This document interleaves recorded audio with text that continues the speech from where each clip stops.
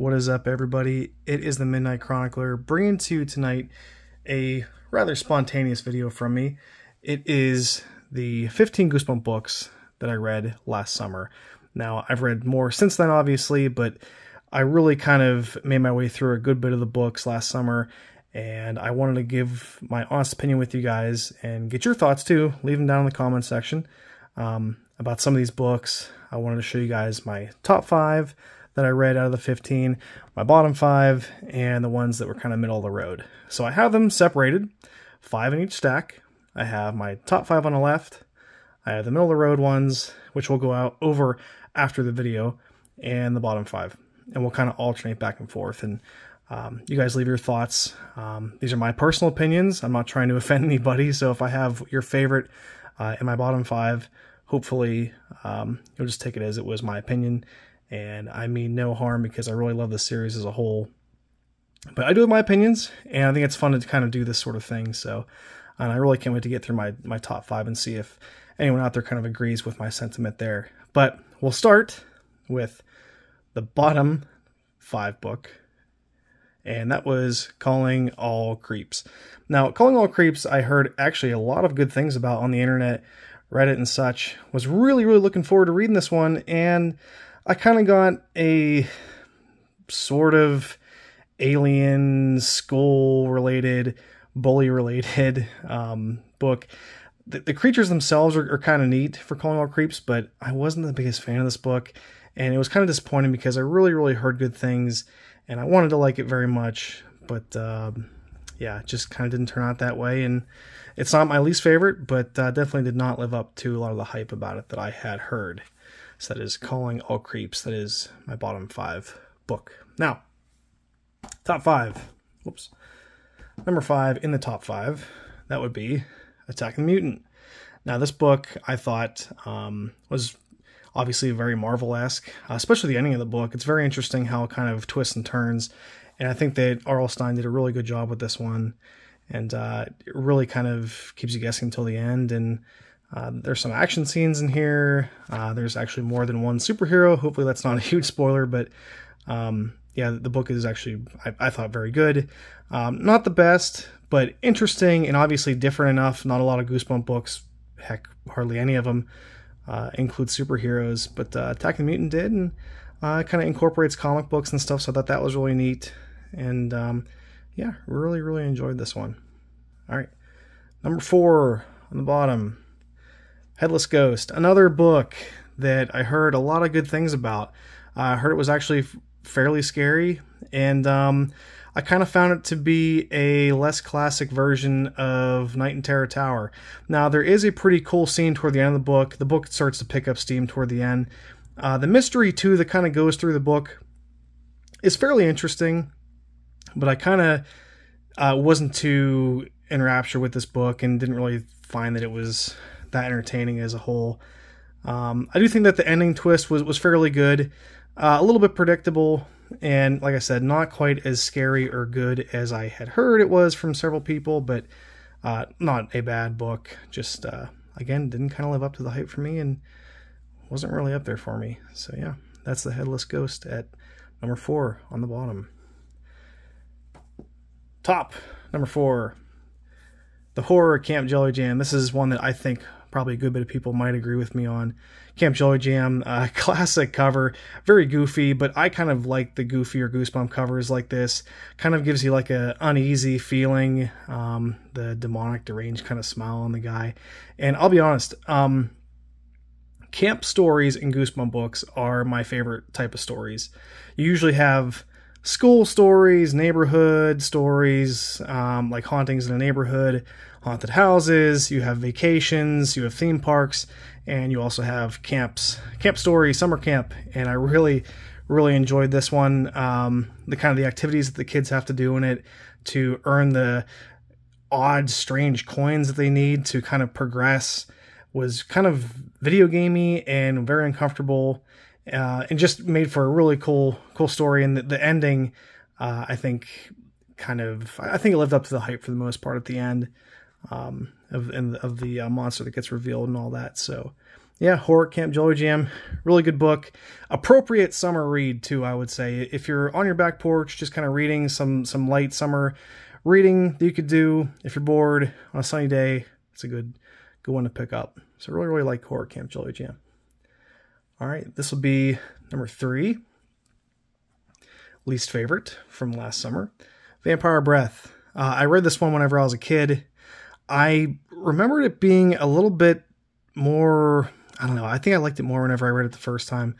But this book um, sort of follows two kids that um, find a vampire in a basement that is sleeping. They're sort of transported to kind of a, a Dracula. Um, I don't know what, what area of the world he lives in that, that, you guys can fill in the blank for me. It's a fictional world he lives in, I believe. Um, so they go to that world, and there's kind of um, vampire things that ensue. Obviously, it takes a lot of uh, tropes from Dracula and things like that.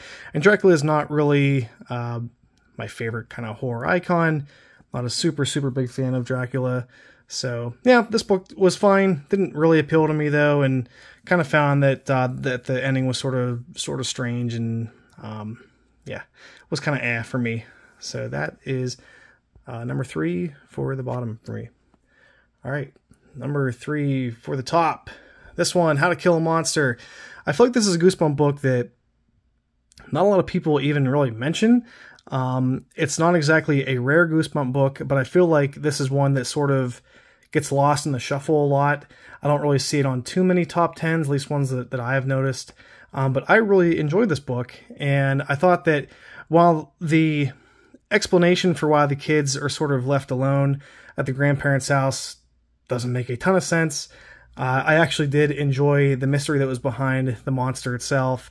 The description of the monster I thought was interesting as well. Um, and it's sort of, and this is sort of rare with um, Tim Jacobus artwork for Goosebump books, which is fantastic.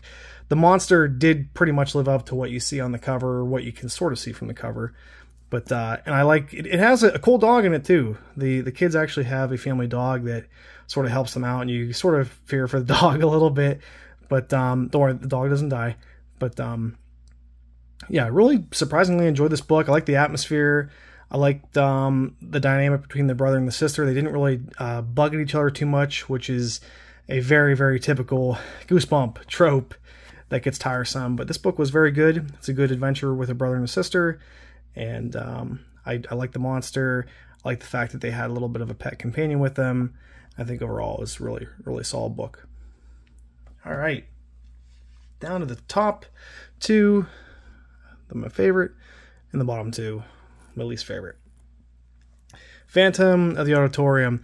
This one um, just revolved around a play. The Phantom of the uh, Opera, obviously, is the uh, the namesake for this one, and I just was not real entertained by it. Um, the, the, the kind of the antics that the main character gets framed for, I thought were kind of tiresome and and played out. Uh, you get a lot of Goosebump books where the main character is framed for doing something that uh, actually some other evil character or side character is doing to them behind the scenes, and you know it's never the main character's fault in reality. But this book played into a lot of that.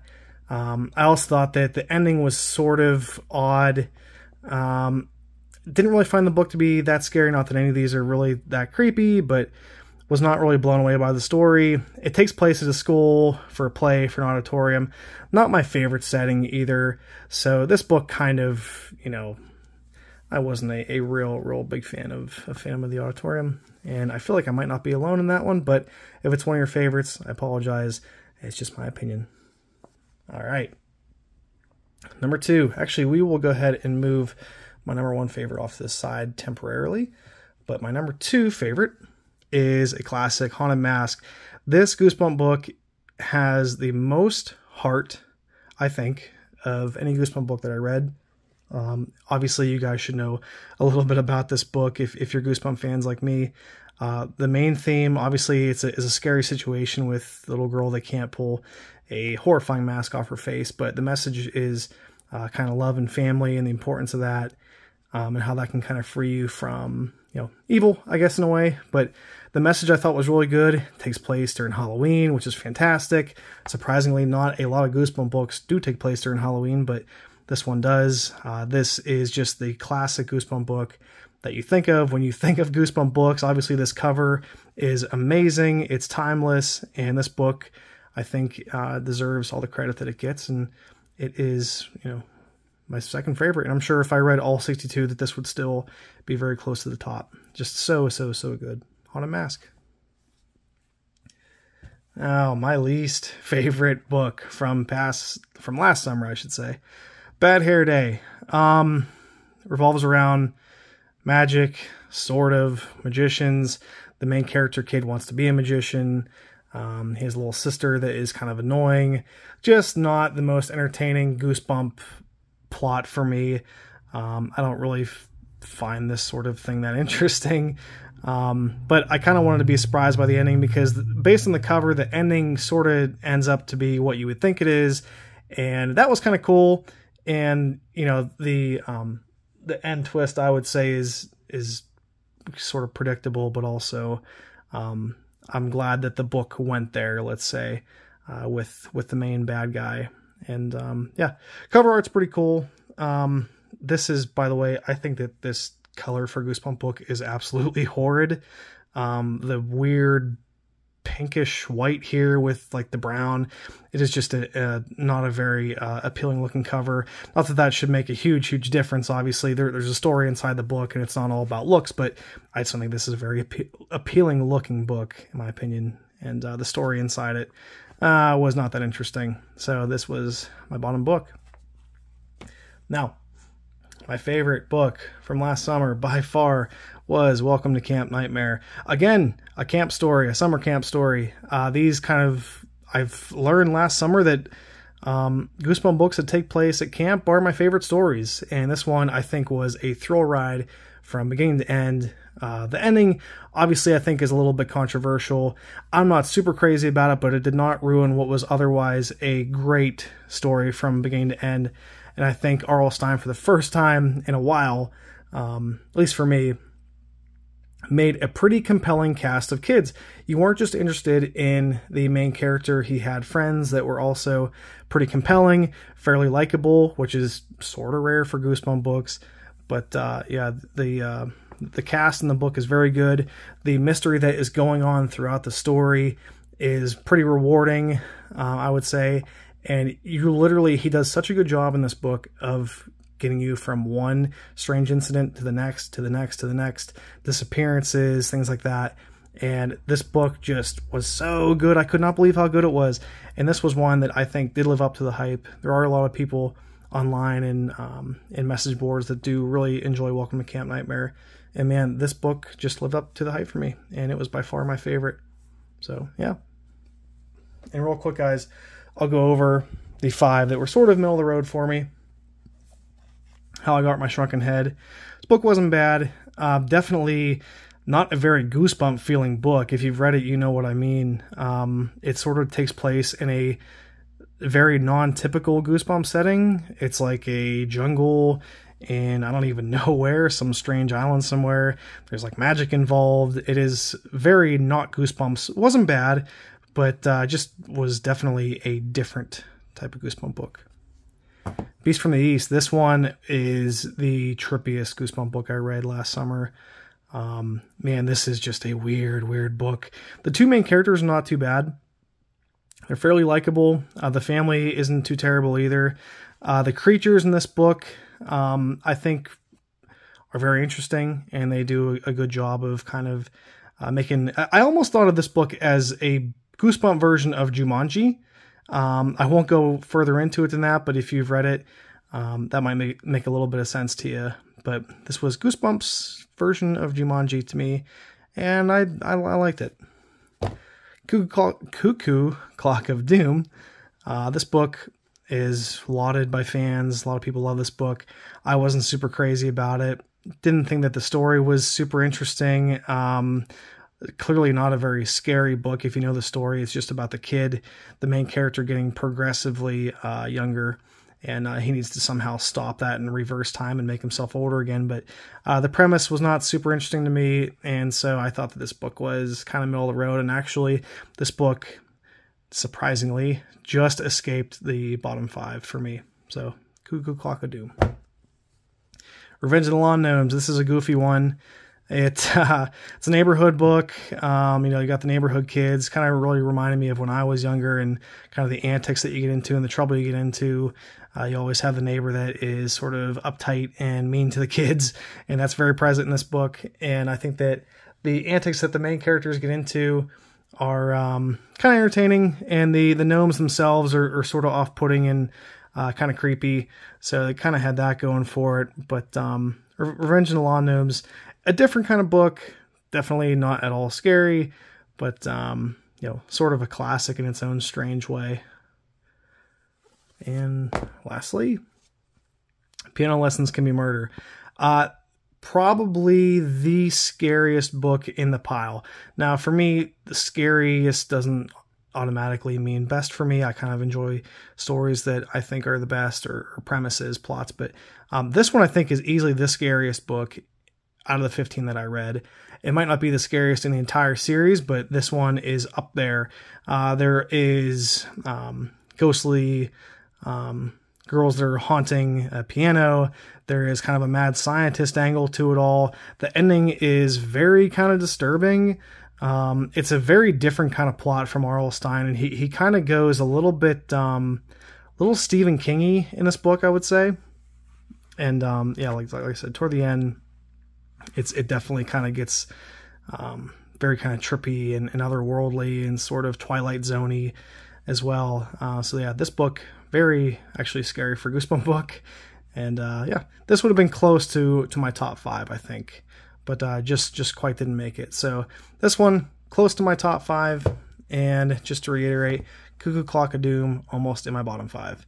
So yeah, guys, that was the 15 Goosebump books that I read last summer, and it was a very very fun time, unforgettable. Got me to love reading again.